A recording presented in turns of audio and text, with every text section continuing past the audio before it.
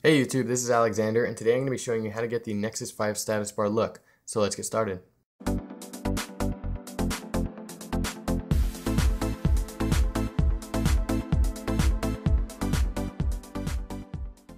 Okay, so I just want to first preface this by saying that you will need to have uh, root access and super user permissions and be running an Android device uh, or be using an Android device that's running Android 4.1 or later. Uh, up to 4.4, I do not believe this will work.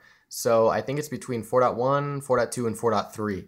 Uh, so anyway, if we go ahead and check out uh, this download, which will be uh, down below, it's going to be uh, something that looks like that, the Xposed installer or Xposed framework.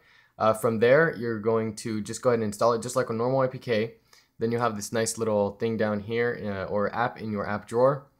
From here, you're going to go to framework and you're going to install slash update. Uh, if you get um, somewhat of an error, you shouldn't get any errors, but if you do, let me know down below and I'll try to answer you. Uh, but you're going to want to hit that and then you're going to go to the download section and where I have Gravity Box, that's what you're going to want to install. And as you can see, it says uh, for devices running 4.1, 2, and 3. So if you're running 4.4 for whatever reason, maybe a custom ROM, this may or may not work.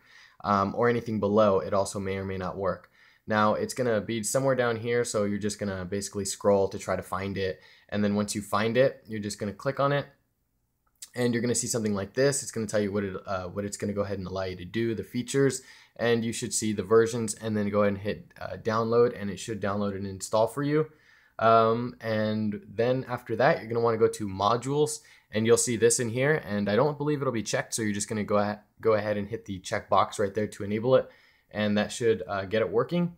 After that, you will need to reboot your device. So once you've rebooted, what you're going to want to do now is open up the app drawer, go to Gravity Box, and you see now you have a bunch of different tweaks that you can go ahead and uh, use on your device.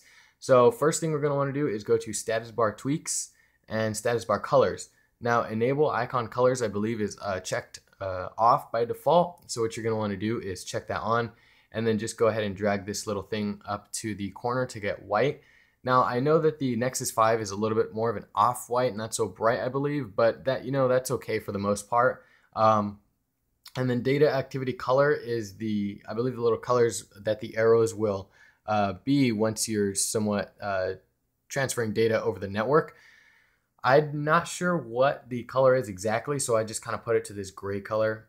Uh, everything else looks fine. Um, you just basically want to have your settings somewhat similar to the way I have them. And then transparency management. You're going to want to turn the transparency for the launcher all the way up. And then the status bar for the lock screen, uh, if you're not using a custom lock screen or anything like that, if it's pretty stock, you're going to want to try to get it to 56 or 55. Uh, anything more or less than that, it's not going to match the background and it's going to come out either darker or lighter. Now everything else I believe uh, is just the way that you saw it. The notification drawer uh, background, you might you might need to change this. I noticed when I first installed it, it was a little weird. So you might need to come in here and kind of play with it, put it up, and then put it down to zero, and it should uh, kind of sort it out. Everything else is pretty much the same. You also have some status bar, quick tile management, stuff like that. Most of this stuff, by the way, is usually built into whatever custom ROM you have uh, but sometimes it's not. So if you want to go ahead and have that for, let's say you have a custom ROM that's pretty much stock, but you want a little bit of functionality, you can go ahead and install that. That's pretty much going to wrap it up for this video. I hope you guys enjoyed. If you did, be sure to hit that like button and subscribe down there for more. Uh, I'm going to be having maybe how to get Android 4.4 on your Nexus S, uh, a custom ROM. I have a custom ROM running on it. If you guys want to see that, be sure to leave a link down below. It is an alpha build, so there is some stuff not working, but if you guys want to see it, let me know. Again, I hope you enjoyed, and I'll catch you in the next one. Peace.